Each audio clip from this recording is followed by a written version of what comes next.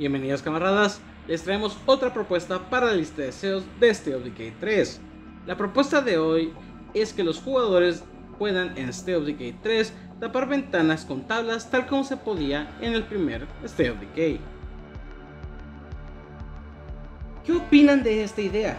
Ya se la saben camaradas, para votar es necesario crear una cuenta, pero no se preocupen, esto es solo para asegurarse que sea un voto por persona.